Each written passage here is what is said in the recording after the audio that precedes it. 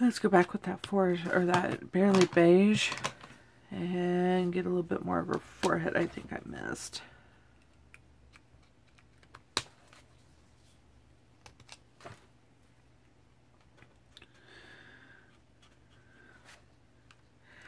And I'm going to use a chisel tip real quick in this frost blue. I think we're going to go with frost blue.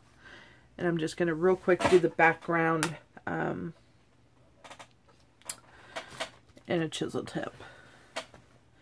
And see how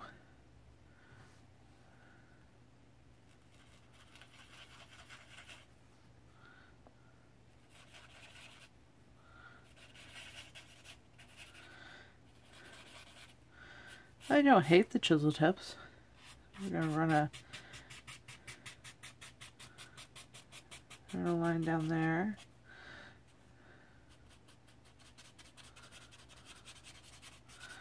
Just go ahead and color over that black because it's not going to matter with this color. And then start filling her in. Again, forgive the marker some because um, a lot of times the things turn out streaky. It's not the tool, it's the user.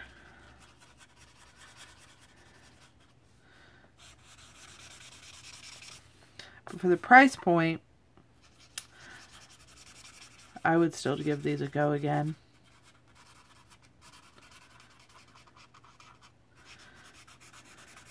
especially if I was, you know, just using them in coloring books and I was kind of an amateur or an amateur artist, maybe um, somebody on a really strict budget, or, you know, maybe your nieces and nephew are getting into art and have asked for a set of alcohol markers, you know, before going and paying $8, 7 $8 a marker on Copics these might be a nice alternative to spending that kind of money on one marker. And then they could just replace the markers that are going dry. Or as they run out. Because obviously if they run out, or if they, or stuff like that, that's probably the ones they're using the most anyway. And might want a nicer set for that purpose. But yeah, I'm liking these. I would get them again. What is bleeding through? Oh, her hair. oh, and the 28. Okay. Alright. Every person out here, out there who's good with alcohol markers is probably cringing so hard right now. Like, what are you doing? I don't know. I don't know what I'm doing. I just like to color, so like color goes on paper. one day, one day I'll get better at them. I just got to keep working with them. Right now I'm just testing them out though.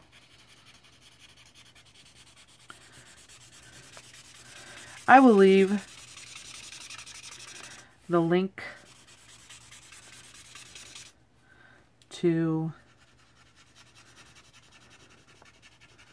the Amazon below. I am not an affiliate, so you don't have to use that link if you don't want to. I mean, I guess you never have to use the link when people are affiliates, but I'm just saying, like,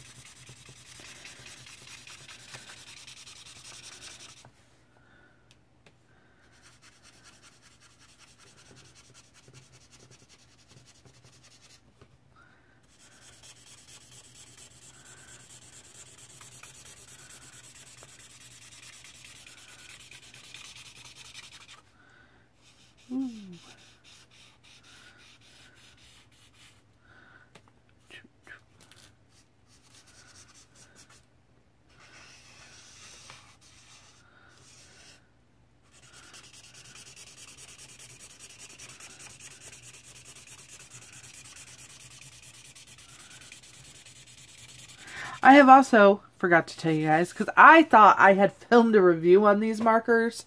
Um, I thought I had filmed a review on these markers, when I got them. I did not, I guess. And if I have, it is currently lost footage because I can't find it. Um, I would have sworn I did. I have gotten from the same brand. Hold on, let me find one. Their water markers, which look like this. And it's from the same company. And I haven't really played a lot with them. I did do, I thought I had filmed a review on them. But, yeah. And I've, I mean, they seem decent quality, and none of them were dried out. That I remember anyway. I mean, I guess some of them could be, and I don't remember. I mean, that's highly possible at this point. Let's see. What color do I want her shirt? See, I think that turned out okay. Yeah. I think we're gonna, I don't think we've used, yeah, we're gonna use this purple on our shirt, I think.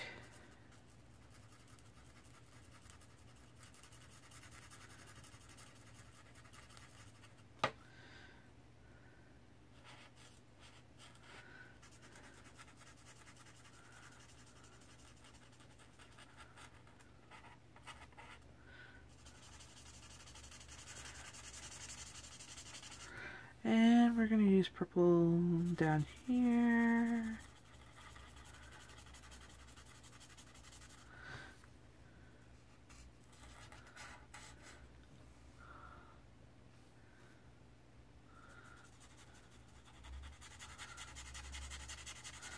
And I think we're going to call the test run here, guys.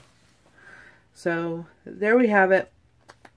Most of T-Rex gets all the presents um, that's my review of the, let's try it one more time, the La Mooch, Mooch, La Mach, Mach, um, trying to throw a D in there because that's what feels natural to me, but that there's no D in there. Um, twin markers, fine tip, chisel tip, 168 piece, or in my case, 167 piece that is my review of them. Um, and I would give these another shot. I mean, for the money I spent, it's less than a dollar a marker. I'm pretty happy with them. So, until we meet again, live well. Bye, guys.